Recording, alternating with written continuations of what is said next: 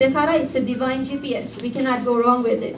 Because Allah will be in control of our heart uh, after doing istikhara. So don't, don't worry about following the heart. And then put the complete reliance on Allah.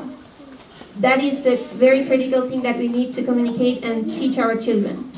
Uh, number three, take action. Brother Abdul Rashid is a leader because he took action and didn't just sit with his idea. Take action, be the best.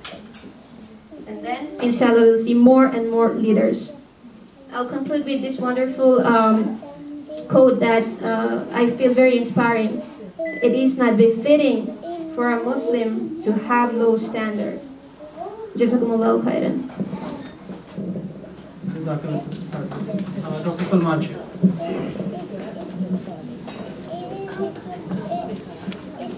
Bismillah, alhamdulillah, salatu salam ala rasulullah. I think we all agree that perhaps the biggest investment we can make in this environment is in our own children, both for this dunya and, and the hereafter, which is why we are all gathered here. So this applies to everybody, whether we are immigrant Muslims here or uh, native Muslims here. And perhaps sometimes the native Muslims understand the challenges better. Whereas the immigrants should also understand the big responsibility they have made because they made a choice in where their children will live. So it's a, it's a bigger responsibility before Allah subhanahu wa ta'ala, which they have to understand as much or even more than, than the indigenous. But everybody has to understand that and come up with the solution of how we can keep and raise the iman of our next ourselves and our next generation. This is the bottom line. Because iman is the driving force. If the iman is high, then the results will come. If that energy is low, then no matter what you have, the results go down. So the question to all this is what will keep the iman growing or at least constant? And the scholars answer that question, not me. Scholars say there's three things we need to do to have our iman and ours, uh, uh, the work, uh, our children and so on, growing or stay constant. And what is that? Number one is, of course, du'as to Allah subhanahu wa ta'ala. Allah subhanahu wa ta'ala is the one who controls the hearts. But that's just one part of it. If dua was everything, then Rasulullah would have only made dua. No, but he made a lot of effort. What effort did he make? Again and again we heard that the effort is on making the right environment. It's not just knowledge. It's not just knowledge. The environment of Medina, the environment of Masjid Nabawi was such that even prisoners tied to the post would become Muslim in at most three days. So there was something going around over there. There was an environment. Whereas what we have here is the opposite. One scholar was saying that it's like you tie the hands and feet of a child and throw them in the water and say, don't get wet. How can they not get wet? The important thing is to teach them swimming so that they can cope with the wetness and the water around them. So, number one is du'as, number two is working for an environment, and number three is teaching ourselves and others how to strive to change and, and our environment and either change it to something good or die trying to change that. Because if we do that, at least we will protect ourselves. Allah subhanahu wa ta'ala says in the Quran, وَالَّذِينَ جَاهَدُوا فِينَا لَنَهْدِيَنَّهُمْ سُبُلَنَا Those who strive in Allah's path, Allah will definitely, definitely guide them. So the success formula is there. It's not something new. And this is what Rasulullah came with. And this is what we have to emulate. Rasulullah is reported as said in a hadith, Boistu that I was raised as a teacher. I was raised as a teacher, So this is a job, teaching is not a profession, teaching is not a work. Teaching is a job of the Prophet And we have to understand that this has to be done by example, as was said by the, uh, uh the brothers before me, uh, more eloquent, eloquently. We have to teach by example, and it's a partnership between teachers and parents. Parents' role is extremely important, especially the mother's role. Especially the mother's role, who are able to give quality time to the child, who are the first university of the child. So mother's role is extremely important, and you see time and again stories of big scholars of Islam, big waliullahs. What was the role of their mother in shaping their lives? This, this is history we have to look and understand and learn from. So my next point is that we have to look at Islam as a comprehensive framework, most of the time, and I'm not saying about Tarbiyah school, mashallah, Tarbiyah school is ex- doing exactly what we need, and, we need it everywhere. But many times Islamic education is confined to aqidah and, uh, and, and ibadah. You know, okay, you believe in this and we do the, the, the, the five pillars. But that's just a starting point. That's the starting point. We have to have our mission is to please Allah subhanahu wa ta'ala and our vision is to follow the sunnah way for success in this life and the hereafter. That has to be implemented. So aqidah is the starting point. Amal is what follows next. But after that, there are muamalat, our dealings, as was mentioned by people before me. How do, how do we deal with each other? What's our collective way of life, our mashara? What's our economic system? What's our political system? What's our social life? And here let me also point out that Islam has its unique way of balance. Islam has a complementary relationship between the men and the women. It's not like the American ideal of equality meaning identicalness. No. Islam has equality of men and women before Allah subhanahu wa ta'ala. Equality to achieve, to achieve the highest status in Jannah. But in the dunya, there is a complementary role, which we are not realizing today, because of which the problems we mentioned before, the failing marriages, the social strife, the, all these things are happening. So a part of our Islamic education is not only aqidah and ibadat, it's also our ma'amalat, it's also our mashira, our collective way of life. Allah has given responsibility for a father, for a mother, for a husband, for a brother, for a sister, for an uncle, and so on and so forth. Rasulullah he showed in every way of his life how a best Muslim should operate. As a commander, as a neighbor. He showed all those roles, and we have to understand from those roles and from the Ummahat al-Muslimin, the, the mothers of the believers. So this is something we have to learn, and also finally the akhlaq, the character. The character building is a part of our deen. So let's not confine ourselves to the, the, the, the, the five pillars or the, uh, the beliefs. No, there's much more. There's much more to our deen, which has to be a part and parcel, and that's what will show our non-Muslims what Islam is. Muslims went to countries they didn't even know the language of that country, yet they changed the entire country to Islam. How was that done? By their character, by their dealings, by their behavior. And we have to prove, not by our words, but by our behavior, that we are following Rasulullah who was Rahmatul Alameen, the mercy to the world. The American society will not come and watch our Salah and Siyam and Hajj and Zakat. They will see how do we deal with them. Are we beneficial for the society or not? And that's the answer. That's the answer to gain our position as Muslims, as leaders of society. We have to prove ourselves that we love the society, the love the human beings at large. We are sent not for Muslims. We are the ummah which is sent for mankind. كنتم خير أمة أخرجت للناس. We are the best of nations who are sent for mankind. تأمرون بالمعروف وتنهون عن المنكر وتؤمنون بالله. Who enjoy the good, forbid the evil, and believe in Allah. So there is a complete package we have to work on, inshallah. And for that, yes, Islamic schools are very important because Islamic schools give us a base to teach all these things. Islamic schools uh, have a huge role to play in this. And here I want to mention that, I want to mention a couple of things. First of all, as uh, Dr. Naveed mentioned, the challenges. Yes, there are challenges. Uh, we have very few Islamic schools right now. I would, I would say we need much, much, much larger number. But how to do it? How to do it? Resources is an issue, and we'll, we'll hear from our respected brother about that, inshallah. But the message I want to give is that simplicity. Simplicity.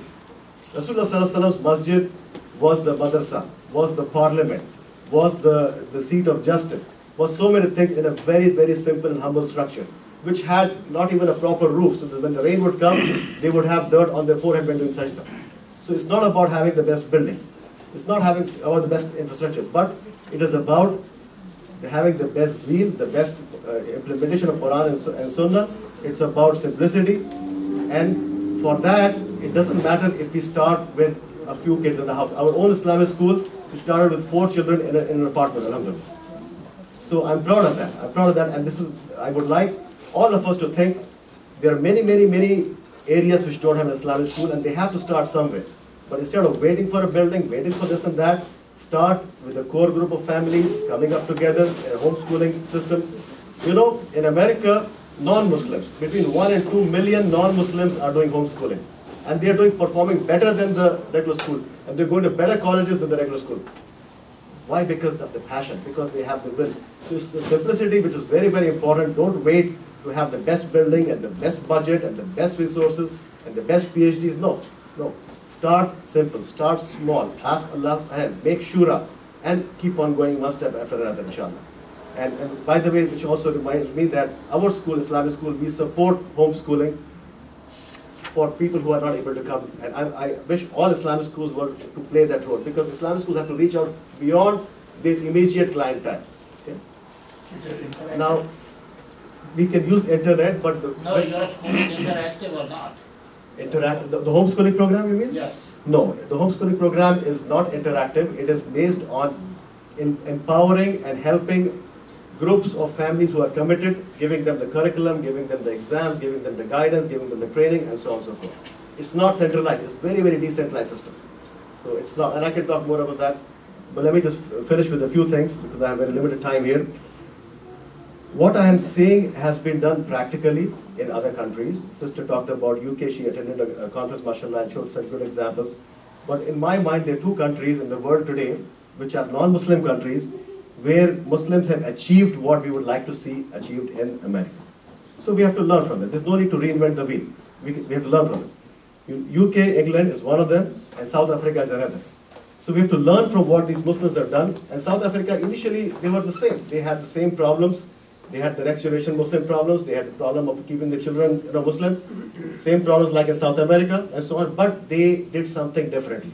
And they have achieved now the rate where, alhamdulillah, there's no, no issue of the next generation you know, or, uh, leaving Islam or anything like that. Alhamdulillah, they've achieved it. So the question is, how did these countries achieve it? Okay. And just to learn from, from their effort, there is a few things they did.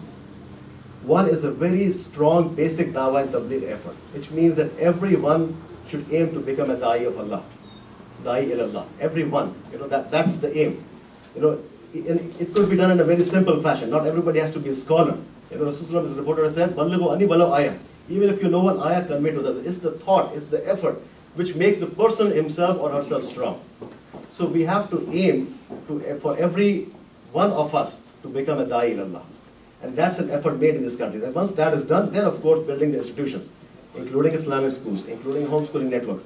But let's also not forget the 90% plus people who are not coming to Islamic schools. That is also a very important part of the Ummah and at least uh, for a very long foreseeable future, we have to make a lot of fikr and concern for them. And one, one, some of the way, ways this has been done in these countries is by establishing after-school maktabs.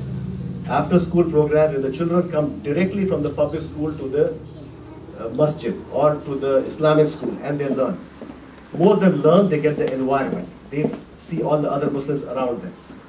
Here in America, that can be done, and I'm not saying I have done it or we have done it, but it's a goal I would like all of us to work towards. Here, it's very easy. Public school bus can drop the child to anywhere you ask them to. They don't have to drop the child back to the home. We can ask the public school to drop the child to an Islamic school and establish the after-school program and, and work on that, inshallah. So this is one project I want everybody to think about because while we are working on the Islamic schools, let's not forget the 90 plus percent students. Another project I would like all of us to work uh, uh, uh, on, inshallah, is Juma in the public schools. Alhamdulillah, most colleges now have MSAs, most colleges have Juma. But remember, our high school students are baligh. By Islamic standards, they are adults. Juma is on them. And how can we expect someone who hasn't gone for Juma for 18 years of his life to suddenly come and start doing it? A lot of loss is happening today is because of lack of Juma prayer and Islamic clubs in public schools. And it, but it's, it's coming back. It's happening. Alhamdulillah, in Old Bridge where I am, now there is Juma. My, my, some of our children, mashallah, they went to, uh, to uh, Allied Health Magnet School. We just had about four or five students there, and mashallah, they started Juma there. It's not that the public school is a hindrance. If there's a will, there's a way. You just talk to the, the, the, the people and it happens. There's not a big obstacle over there. And I can see from my own personal experience that it happened in these two places, and I'm sure it's happening in many, many places. So I don't want to take a long uh, uh, time. I know there's many valuable uh, points to be made by many speakers here, inshallah. But to summarize, we have to work on du'as, environment, and dawah and tabligh effort. And while we do that, we focus on not only the aqidah and, um, and, and, and the pillars, but also on the ma'amalat dealings, the mashara, the collective way of life, and akhlaq. Especially aiming towards the wider society we are living in, showing the example of Prophet Muhammad as Rahmatul Alameen, and demonstrating by our family units also that yes, there is a role which, which Allah has ordained for men and there is a role which Allah has ordained for women. And they are complementary roles. And they are very, very, each is a uniquely valuable role. To inculcate that in our, in our, in our children, inshallah. Uh, and finally, uh, our Islamic schools, as Dr. Tarat mentioned, they have to have this system where Islam permeates top to bottom. Their mission has to be to please Allah subhanahu wa ta'ala. Their vision has to be to follow their success lies in following Muhammad in every aspect of his life. And, and the last part is while we are working on the Islamic schools, let's not forget the others outside. And let's focus on at least these two projects, the Juma in the public school and the after school uh, inshallah. Jazakumullah khair. Jazakallah, Dr. Uh, let me uh, let me uh, give you an, a brief overview of uh, how we have been trying to do uh, do this at Tarbiyah. Um, when we when we uh, thought about having this um, panel discussion and, focusing on raising future leaders, it, it came to our mind that, that we should learn from Quran how is leader defined in Quran. So I did a quick search. Um, to, for the word leader in Quran. Now, th there have been uh, different words in Arabic that have been used, but there, there, anything that can be translated as leaders, I searched for that.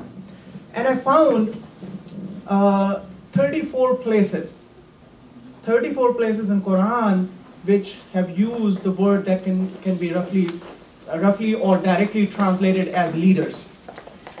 And it was very interesting.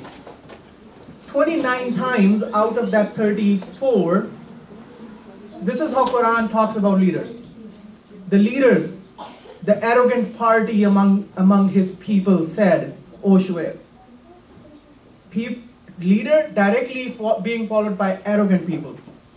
Um, and, and another place, uh, uh, uh, Quran says, Um, sure, we people, they rejected the ayah, the proof, their Lord, and disobeyed his messenger and followed uh, command of every uh, proud oppressor. That's what Quran talks 29 times out of 34. There are only five times where leadership, one time uh, talking about Prophet Ibrahim alayhi salam, Quran says, uh, Inna, inna Ibrahim kana ummatan kanita lillah. That was that was the first time I found that Quran and Allah was talking about leaders in a positive manner. And uh, and then four other places where characteristics of leaders are described. So it was a very interesting uh, uh, situation for me to, to look at these things and, and wonder about these things. Why, why are leaders uh, mentioned in a negative connotation so many times and when I think about it, I feel that it is because it is very easy for a leader to become arrogant. It is very easy for, for a leader to, um, uh, to fall victim of, um, uh, of ego and, and, and, and all, the, all the bad things. So being leader is a very, um, uh, is a very challenging task. So how do we achieve it? We go back uh, to Quran and we find out that even though uh, the word leader is only mentioned 34 times, the, all the stories, all the Qasasul Anbiya, they are all about uh, the, the training program for, for uh, those uh, prophets.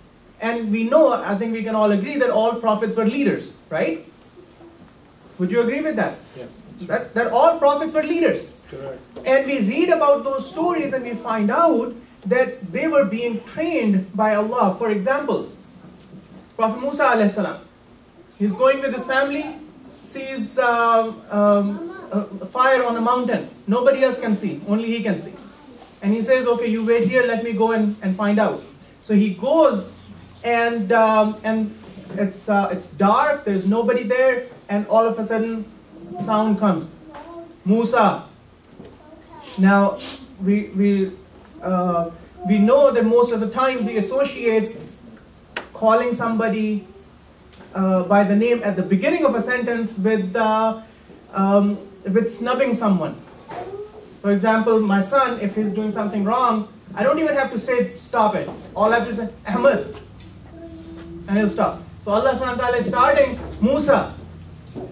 And then uh, Allah subhanahu ta'ala asks him, take your shoes off. Throw your asa. And then Allah subhanahu ta'ala says, uh, now pick up this uh, snake. Now just imagine if we were in that situation, what would happen? That somebody is telling us, pick up a snake. A, a snake which, which looks alive and is moving. And it's, a, it's not a small snake, it's a big snake. And he's asking us to pick it up. And we're talking about leader, leader like Musa. He's being told. So, so that's where I found that there was a lesson that before he became a leader, what was he doing? What was he, was he, what was he, what was he becoming? A follower. He was listening. He was following the commands. And only then he became a leader. And not just Prophet uh, Musa salam. look at the story of um, uh, Prophet Ibrahim salam, being thrown in fire. And, and commandment is that don't worry about it. Don't worry about it. I mean, this, this is one of the biggest fires ever and uh, he's being told, don't worry about it. So, uh, and, and he believes in that, and not just that, uh, commandment for, um, for sacrificing his son. That was no, no little deal, that was a big deal, but that was the training program that Allah subhanahu wa ta'ala was giving to, to his messengers so that they could have become leaders. Story of Hazrat Yusuf alayhi salam, story of, of, Prophet Muhammad sallallahu all the difficulties that he went through. He became a leader because he became a follower. And, and that's, that's where it started. So, so, so keeping that in mind, we started uh, uh, Islamic, Tarbiyah Islamic School. And the concept of Islamic school, we related that concept to this uh, word in Quran that, that talks about Shajara Tayyibah. Shajara Tayyibah, which is translated in a number of ways, a good word, advice, guidance, education. That Shajara Tayyiba is a tree that has deep roots and healthy growth. We cannot, we cannot build an Islamic school or an Islamic institution where we okay, let's just back to the basics and learn and forget about everything else. That's that's talking about roots, right? Right, strong roots. But we are forgetting the growth and then there's this uh, second school of thought that, that would say that forget about the past, focus on future. That's, that's where the growth is, that's where the technology and, and all, all the things that uh, the world is moving toward, that's what we need to do. But that does not, that growth alone, upward growth, does not make uh, a tree shajra tayyiba. Shajra tayyiba is only when it has strong roots and uh, healthy growth upwards. Now, without going much into the philosophical details of the Tarbiyah philosophy, let me, let me emphasize on just two things. Uh, the concept of ta'aleem and tarbiyah. These two, these two words are, they go hand in hand. And we'll see that uh, Islamic literature on education talks about these two things all the time. Ta'aleem and tarbiyah. Now, ta'aleem is when when, for example, I'm a professor at University of Delaware, I go uh, to my class, I deliver a lecture, I'm done, my job is fulfilled. I have earned halal rizq because I have done what, what I was expected to do. That's ta'aleem. And the root word comes from, uh, root word of ta'aleem is alama. And actually, uh, yesterday I found out, uh, Sister Mariam, she mentioned that, that that root word is also the root word for uh, the Arabic word that is used to describe secularism. Alama. The second word, tarbiyah, the root word is rabba, the sustainer, the, the guider. And, and if you look at it, that's what uh, Allah subhanahu wa ta'ala was doing to his prophets. He was training them, he was giving them tarbiyah program so that they could become leaders. So based upon that, um, my understanding of tarbiyah is that the tarbiyah starts when in my class of 50 students, I find out that, you know, these two, three students, they are excellent students. And if I help them just a little bit more, they could become great leaders. So I, I talk to them, hey, would you, would you like to write a paper? There's this conference, maybe it'll, uh, it'll, it'll help you uh, channel your, your energies, your intellect. And then I take personal interest in their growth. That's where tarbiyah begins. That I have a vested interest in the success of that child, of that student. So that's where we, we begin uh, the concept of tarbiyah. Um, just a brief history, we started in November 2010, uh, February 2011 we opened admission, we started with four children, uh, two of my own uh, daughters and uh, one, of, one of our friend's daughter and daughter of uh, the teacher that we hired, with those four. In February 2011 we started, we, we opened the admissions and by June 2011, uh, when the summer program started, we had 37 kids and, and we could not, by that time, until that time, we were doing it from our home. So we had to move out because we had grown too fast, uh, too much. So, so Alhamdulillah, Allah made it easy. We, we got this building which was a, a training center for Chrysler. Chrysler shut down, so this building was available. So Allah made this arrangement for us. Uh, we started with, uh, with a little more than 55 students uh, in September. And Alhamdulillah, uh, people have been uh, looking at what we are doing. And people have been seeing what, what children are learning. And every, every single uh, week, we, we are getting more and more admission. In fact, a couple of weeks ago, last week, we have more admissions and we probably have crossed the, the 100, more, we, we probably have more than 100 kids right now. Um, so, so how do we do it? How do we do it? Uh, we focus on we focus on technology in the classroom because we do not want the, the growth aspect. We do not want our students, our children, to fall behind. Uh, we, we use online textbooks, web resources. We have homework uh, management system that our teachers use extensively. And and, and they not only use extensively, they know which parents are using it and which parents are not using it. So every parent-teacher meeting, they, they have a report of all the, all the parents who have, who have not used that system. So they, they tell them, you have not been using the system, you need to. So, so all those parents are, are involved with that system. Uh, classroom environment, here is a typical classroom environment. This is a science class. Um, this is a typical day at school. we emphasize we emphasize a lot on the co-curricular activities. The co-curricular activities uh, to to make them hard to make it clear to them that they are going. This is their home, and they have to understand this system and society so that they could become leaders. They could they could solve the problems that this society has not solved in in uh, in a long time those issues still exist. I mean, we, we may want to call, call it, you know, uh, superpower and all that stuff, but and developed country, but, but to me, it's a very elusive concept that we should call ourselves developed country when we have solved all the social problems. Have we? Have we solved social problems in this country? The 49 million people go, go without food on their table every day. Millions of people do not have health insurance. Who? Huh? So, uh, that's right.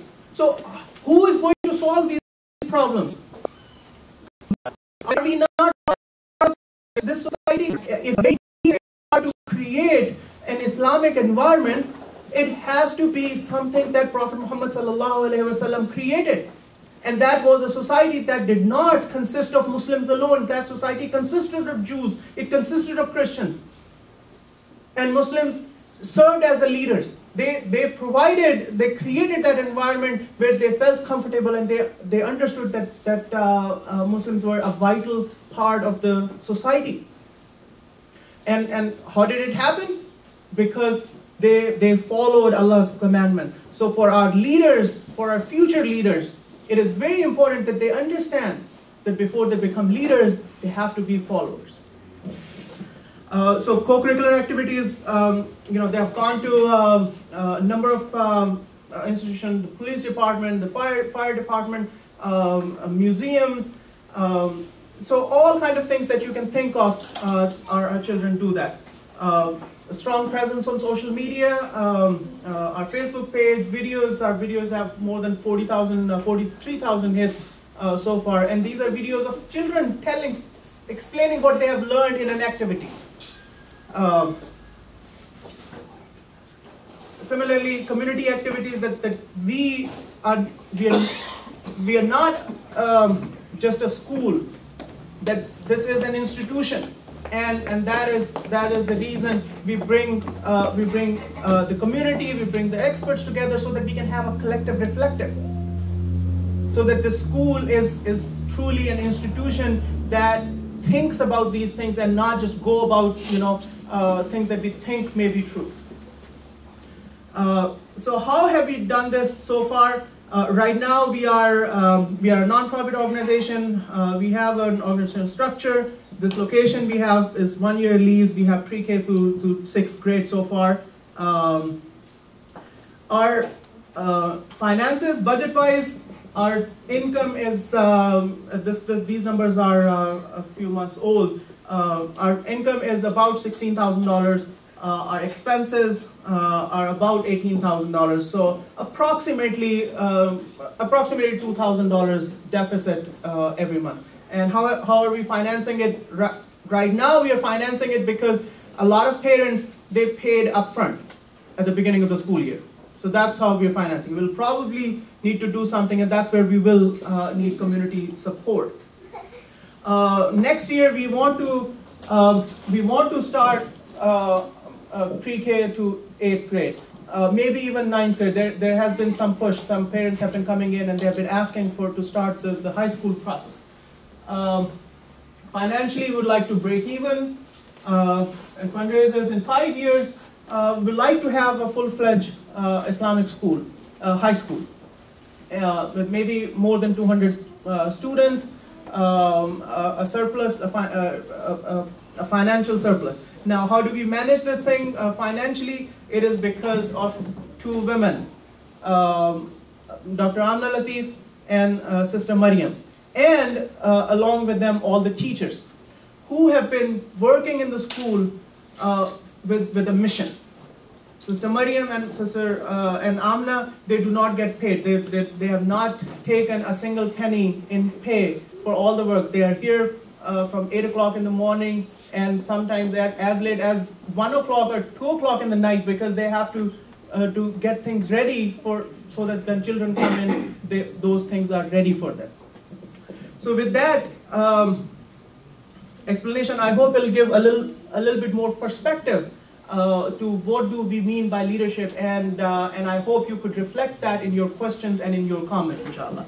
Uh, let me give to uh, Brother um, uh, Ramesh Dugar. Brother Ramesh Dugar, as I told you, uh, he the, the, issue of financial um, uh, uh, problems, challenges is very near and dear to him. And he has, he, he, he, has worked with the school system, not just with one school, with, with a number of humanitarian organizations. and I would like him to elaborate on this. Bismillahirrahmanirrahim. Assalamu alaikum wa rahmatullahi wa barakatuh. Brothers and sisters, first of all, I thank you all for making this event possible, especially the Tarbiyah School. And I would like everyone, when I, I all the time, or in all my life, I mean, half of my life, I, I have tried. So, and when I I want people to listen. I want to promise to listen. And I want you to promise that you will tell others what you heard today. Everybody in the same page here? Are we going to promise that all of us will tell one brother or sister that what we heard today? Inshallah? Takbir. If it is logical. Inshallah, brother. I will not ask you. If you think that we said something nice, please say. If we said something bad, please keep it for yourself. Brother, I want to start with the sh short surah. that made very big difference in my life, which is Wal Asr. And uh, a, a sheikh that is origin from Albania, he now is, is passed. May Allah inshallah give Jannah. He talked about it, and I listened last night about this. He talked about the Surah Al-Asr. And he talked about the most important thing in the life, in any life. It's time. There are three things that we have to know, brothers and sisters. We have nothing to do, we cannot change nothing about the beginning of our life. No one asked us, do we want to be born or not?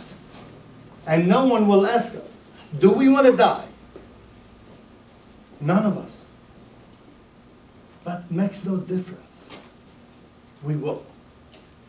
And in this context, I just want to remind you that the only thing in our lives that we can make a difference, it's time. And what we can do with this time. The best calculators in the world, if they can go and find technology, they will never know what time and how much time they have to do good deeds. And the best deed that we can give is to